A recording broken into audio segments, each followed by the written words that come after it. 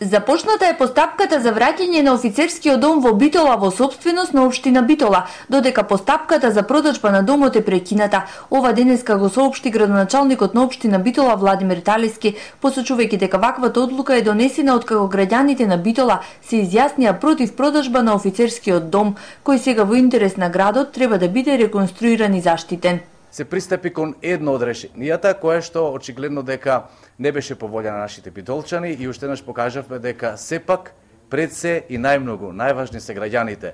Јас со задоволство ја прифаќам одлуката, сакам да се заблагодарам на председателот на ВМРО ДПМН, кој што веднаш имаше политички сенс и воја сите нас да не контактира, заеднички да најдеме подобро решение од предходното.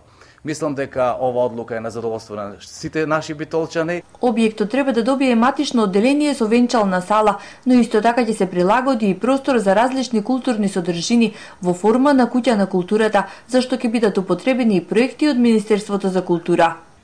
Го слушаме гласот и волјата на битолчани. Тоа се 2000 метри квадратни корисна површина со над 19 метри дворна површина.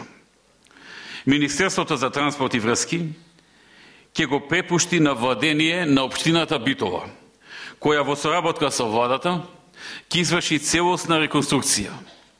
По реконструкцијата, битолчани, а пред се младите, ќе добијат зграда која има историска и културна вредност, но и место каде ќе биде сместено новото матично оделение, односно новата матична служба на Битова, односно една репрезентативна сала за регистрација, регистрација на брачните парови.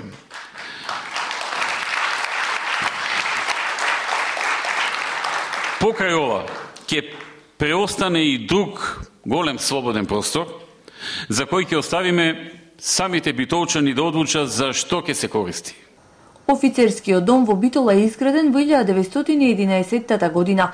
Објектот спаѓа во најубавите архитектонски обележја на Битола и пошироката околина.